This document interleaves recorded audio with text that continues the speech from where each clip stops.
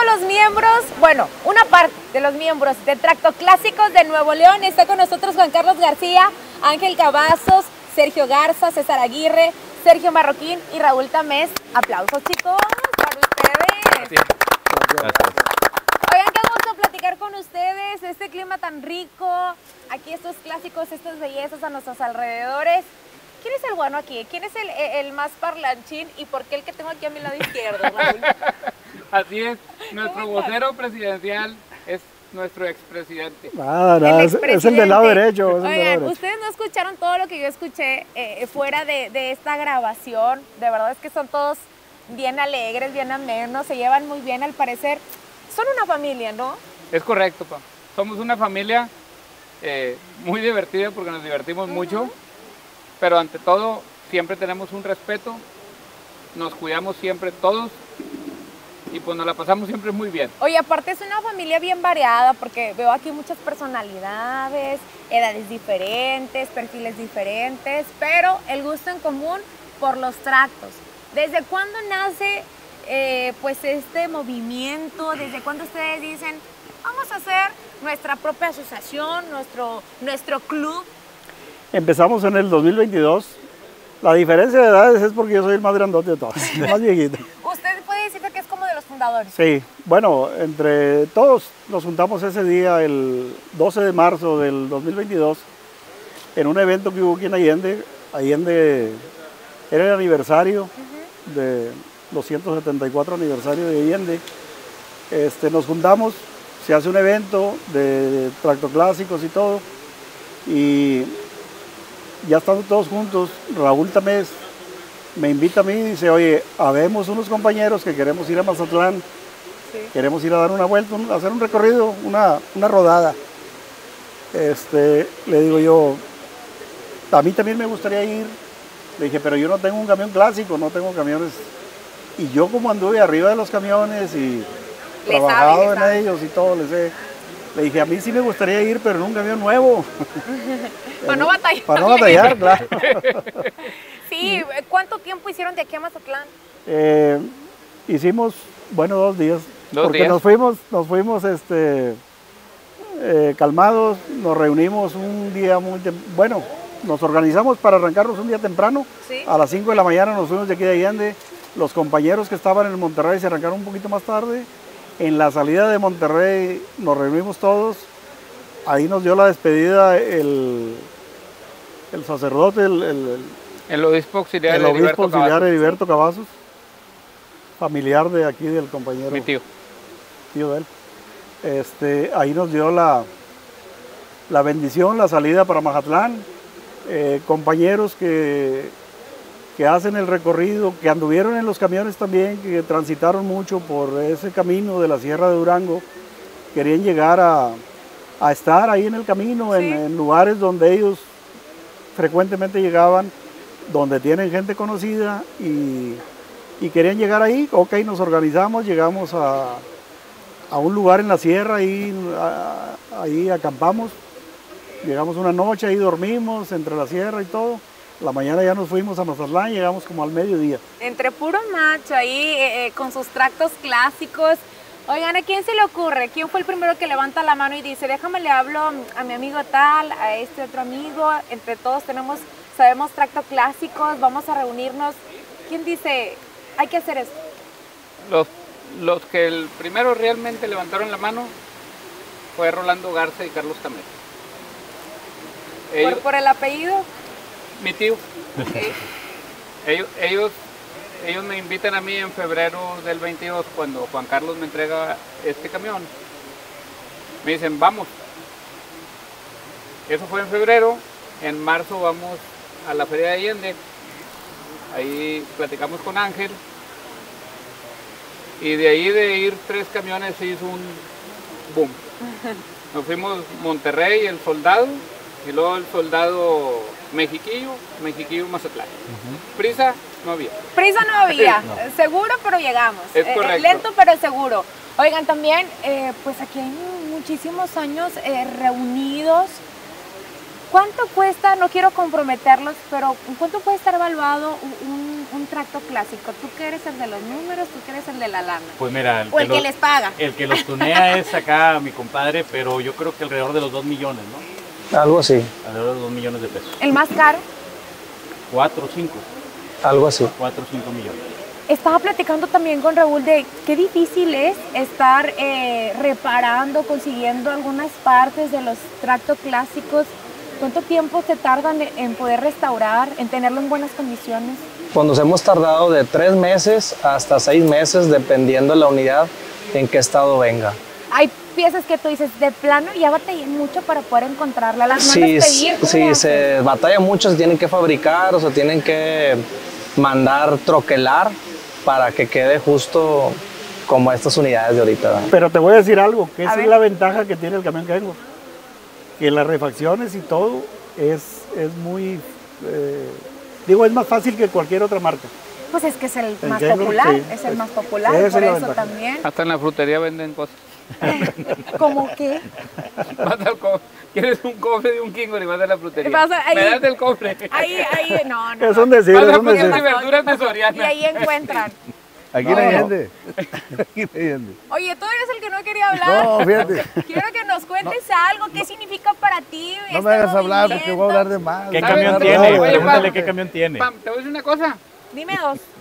El señor, cuando fuimos a Mazatlán, fue el que llevó el primer Kingo 680 nueva generación Federal. Ah. Ah, de, de presumido. De presumido. De presu- No, o sea, no ¿Sabes tenía cuántos iba clásico. como Kiko con su Sí, paleta? sí, Eh. sí.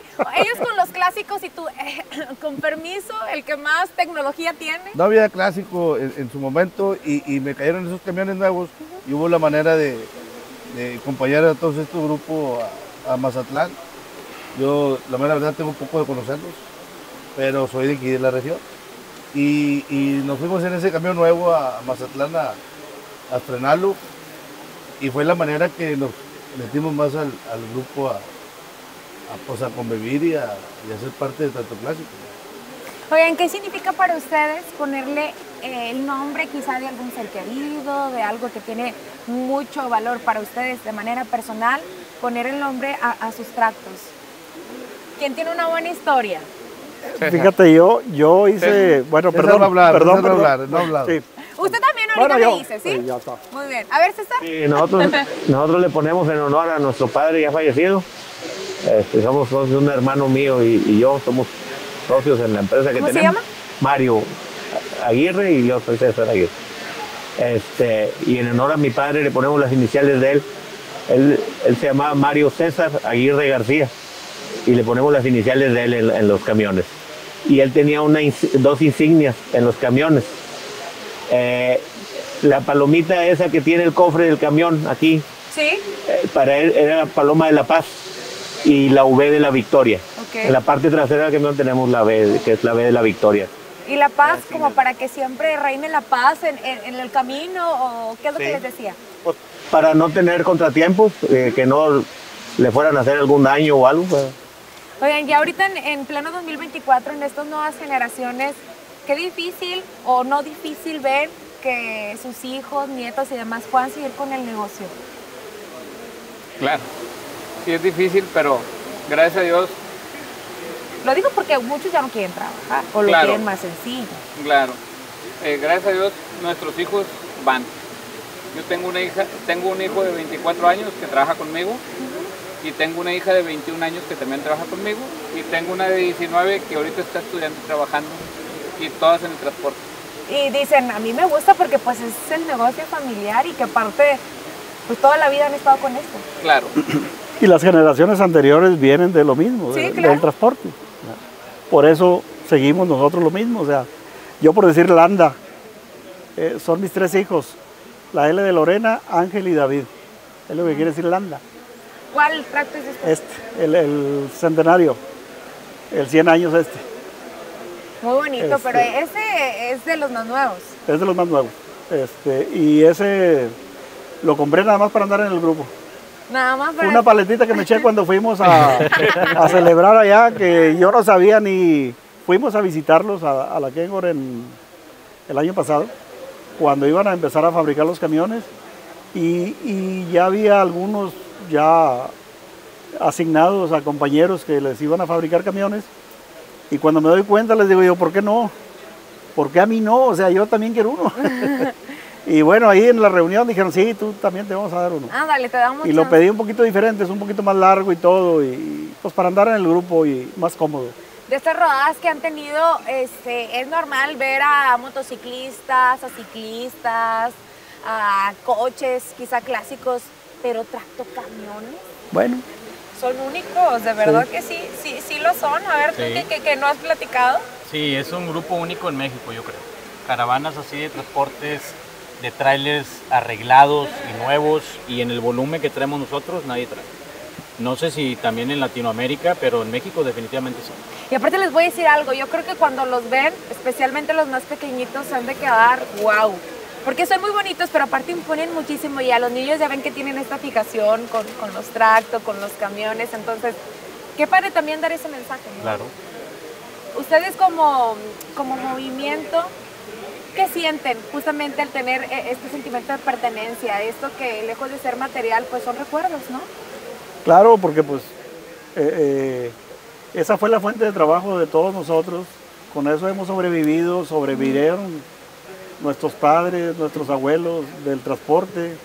Aquí en Allende empieza el transporte con carretas primero, o sea, Sí. y luego con camioncitos muy chiquitos y todo. Y pues ya ahora con estos camiones, pues no nada más usarlos para trabajar, dices tú, oye, pues vamos a divertirnos con algo. ¿Cuánta gente hay que tiene caballos que valen Sí, mucho dinero. mucho dinero, verdad? ¿Por qué nosotros no tener un camión para divertirnos y pasearnos también? Es lo que nos gusta, es la pasión de nosotros. Sí, o sea. eh, es una pasión, es el negocio familiar, eh, es mucho amor, pero aparte también tiene una finalidad. Claro. Ayudan a la gente, es una asociación que ayuda a los más vulnerables de aquí, eh, de Allende, y que a lo mejor a muchas personas no les gusta hablar de, de cómo aportan.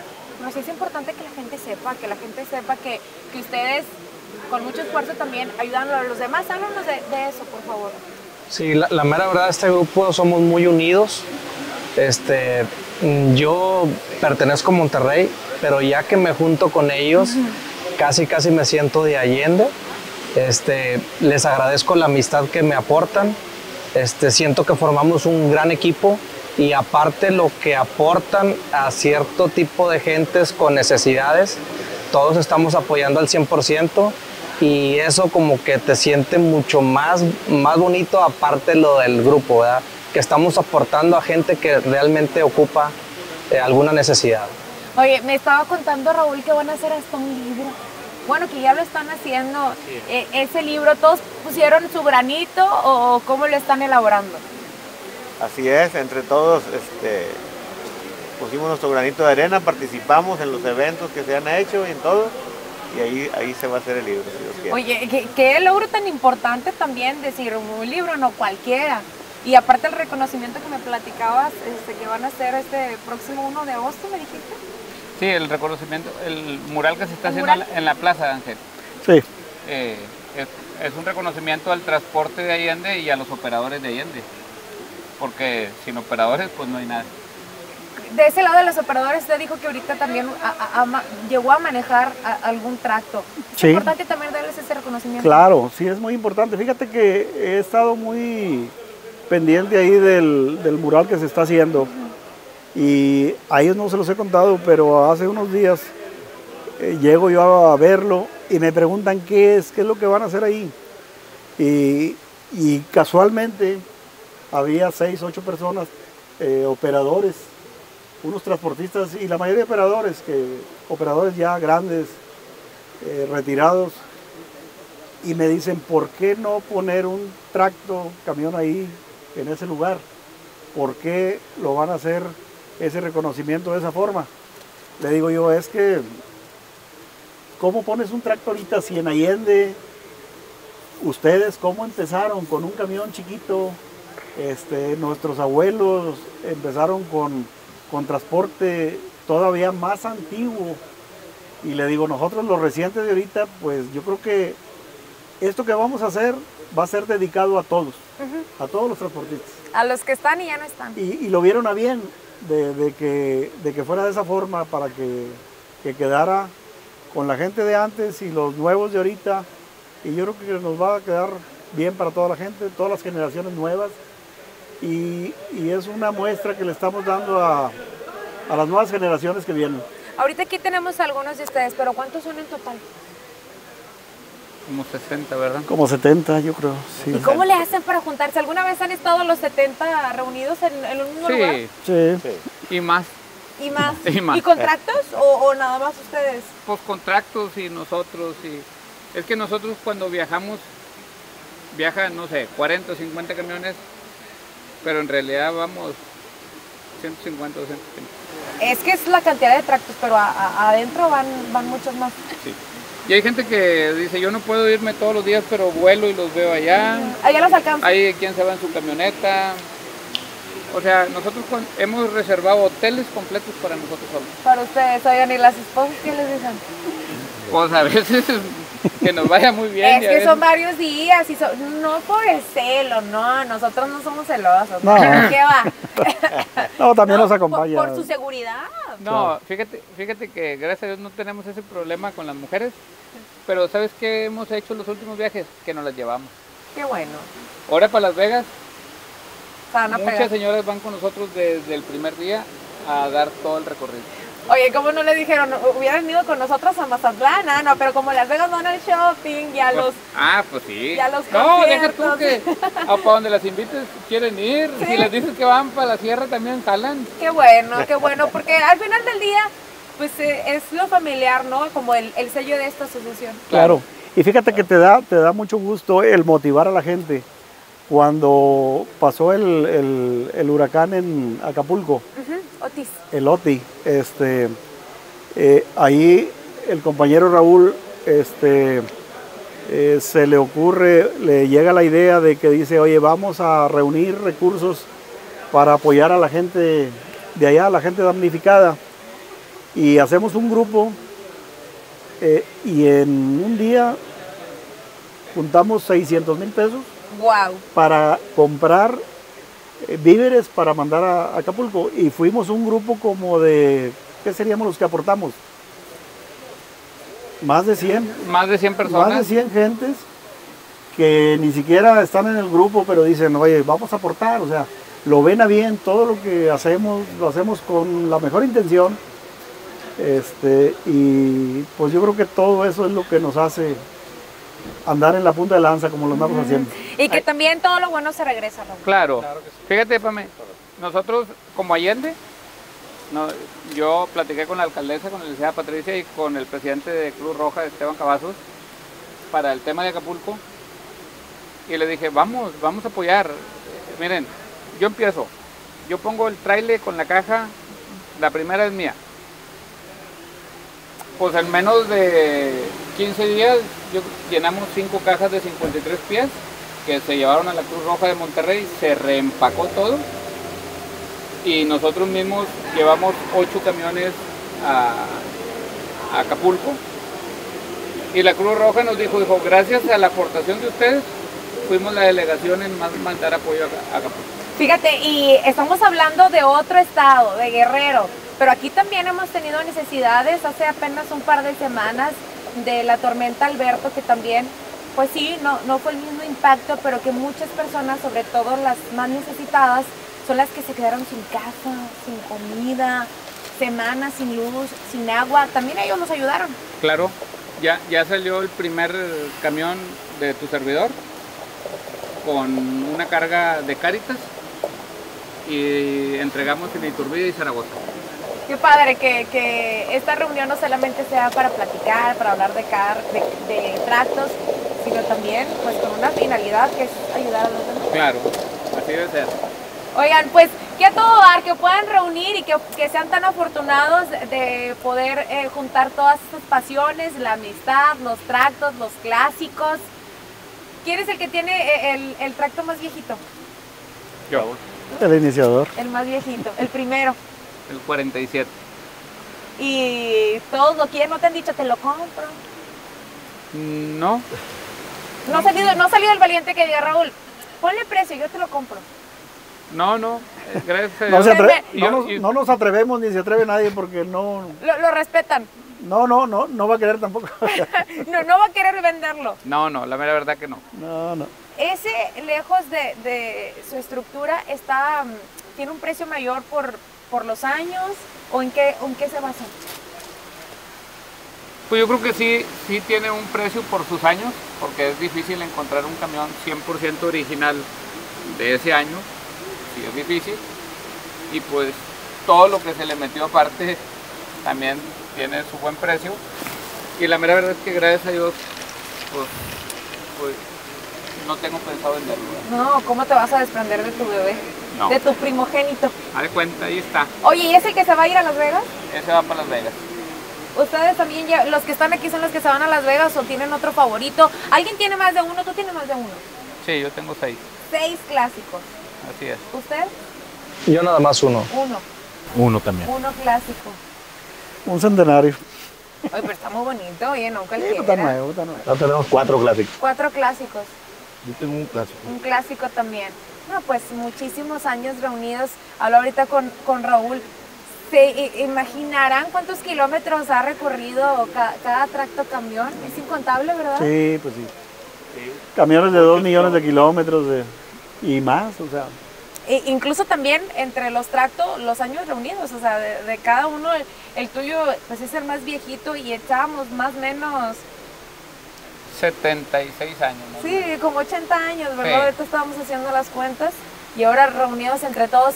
Pues muchas felicidades chicos, qué gusto poder compartir con ustedes, con sus experiencias, que entre todos se apoyen y que cada quien pues tiene sus responsabilidades, ¿no? Hablábamos ahorita para poder identificarlos, decíamos el que tunea los tractos, el que paga, el presidente, el expresidente. ¿Por qué expresidente?